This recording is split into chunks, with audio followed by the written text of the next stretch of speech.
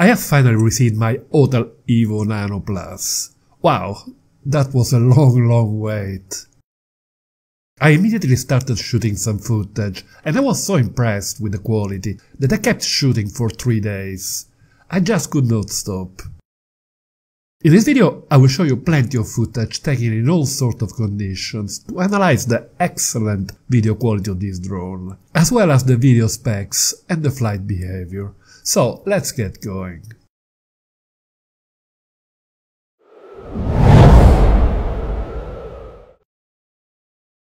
Let's go very quickly through the settings needed for shooting video.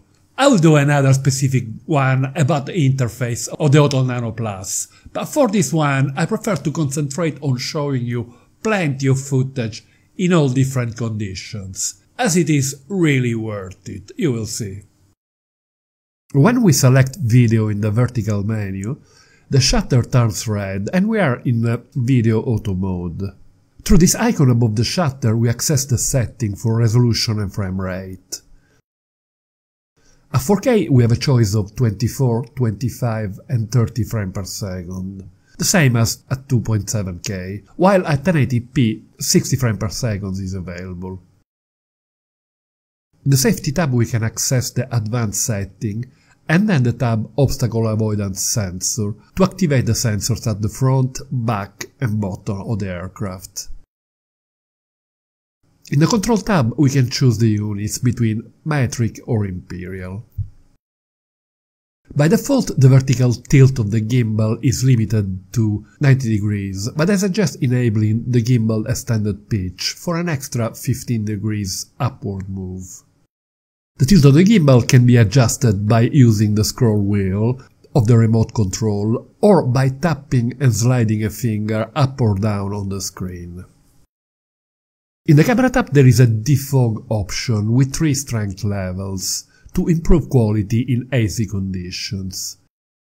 It can be a very useful option. There is no option for showing a histogram. This is very annoying and surprising as the histogram is very widely used to measure the correct exposure and it is available practically in any drone, camera or smartphone on the market.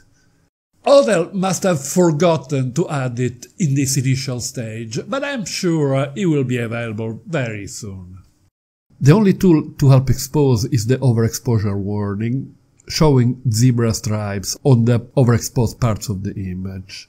But I do not use it, as I find it quite distracting. In video auto mode we can tap anywhere on the screen, a square with a slider will appear and we can slide a finger up or down to increase or decrease exposure. If we move to Pro in the vertical menu, we can choose the manual mode to individually set the ISO, shutter speed and white balance. While in auto video mode, we access to two levels of zoom, 2 times and 4 times.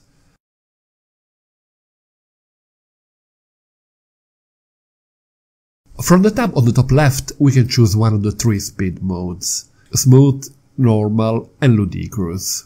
The last one being the equivalent of sport mode. I find smooth to be very slow and useful only for precise move close to a subject. But for filming in most cases I use normal or ludicrous. But be aware that in the latter the obstacle sensor are disabled.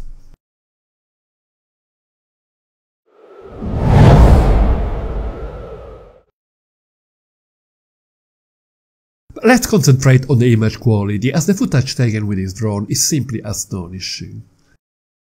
In easy light conditions the structure of the sky is excellent and the color rendition is a thing of beauty. The Nano Plus has only one color mode and it is a simple 8-bit mode. In general, I much prefer to use 10-bit modes with a much wider choice of colors, like in the Air 2S or the Mavic 3. But the results obtained with this little bird are so good that I don't miss HLG or the log modes. With a bitrate of 100 Mbps, the files respond quite well to post-processing, but even just out of the memory disk, the footage is already excellent, and I haven't felt the need to use LUTs. Just a very simple color grading is enough. In top-down views, we appreciate the outstanding amount of detail, certainly due in part to the quality of the video processor.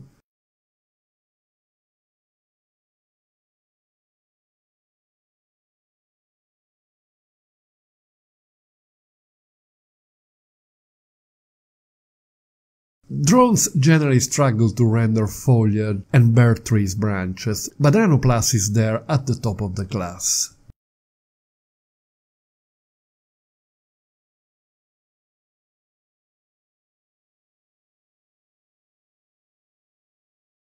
I will certainly do a head-to-head -head of this drone against the Mini 2, but I'm so impressed with the video quality that I'm thinking about doing also comparisons with the Air 2S and the Mavic 3.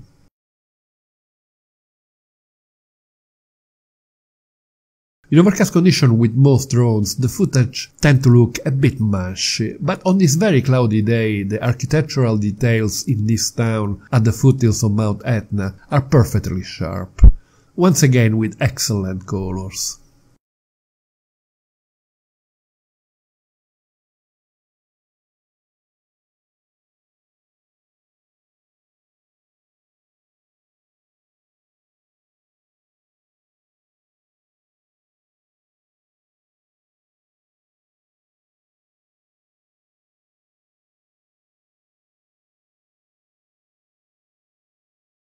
When flying with a drone over a town, we often get some moire in the geometrical shapes of the buildings, with some lines moving independently.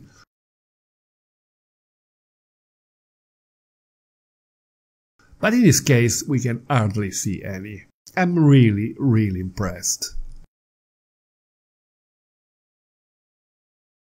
In the info below you will find info and prices about the Autel Evo Nano, as well as all the gear I use. When purchasing through this link I get a small, tiny commission that really help the channel going.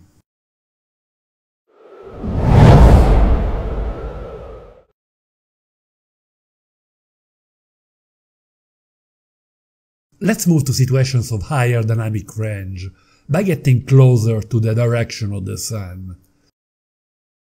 Here the light of the sun comes from the left at about 9 o'clock. The rendition of the structure of the sky and the elements on the ground is again excellent. With the sun on the left edge of the frame before sunset, the sky retains an excellent structure and there are no nasty flares or loss of detail and saturation, as often happens to drones under these situations. And as you can see there is still a decent amount of info in the shadows. The same goes for images with a full sign in the frame. The lens of the Nano does an astonishing job preventing flare. And the image is still really good considering the 0.8 of an inch sensor, much bigger than one of the Mini 2, but smaller than one of the Air 2S. These are extremely difficult conditions, even for a full frame camera.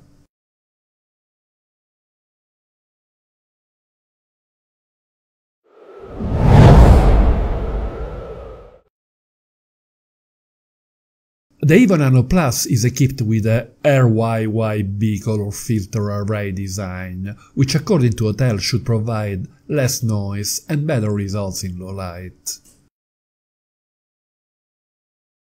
The quality of the footage shot at night with the Nano Plus opens new territory for drone videography, and the result is even better than what can be obtained with most full-frame cameras. It is hard to believe that this scene were shot in pitch dark conditions, as the amount of luminosity collected and the detail in the shadows without any hint of noise gives the impression of daylight footage. I am astonished by the quality of the night footage I am seeing. I will certainly do a head-to-head -head comparison of the low light performance of the Nano Plus against DJI flagship model, the mighty Mavic 3. But my first impression is that for users interested in shooting video at night, this tiny drone is the way to go. Yes, it is quite expensive and probably cannot handle medium to strong winds. But with such an astonishing video quality, especially at night, I can see a lot of pros and semi-pro users adopting it for urban shooting in light winds. The Nano Plus is certainly going to stay in my bag together with the Mavic 3. Let me know in the comment below what you think of the quality of the footage with this drone, or even better, if you have already tried it. Click on this link to watch my video about the video quality of the Mini 2 to compare it to the one of the Nano Plus. And don't forget to hit the like button if you find this video interesting. Thank you.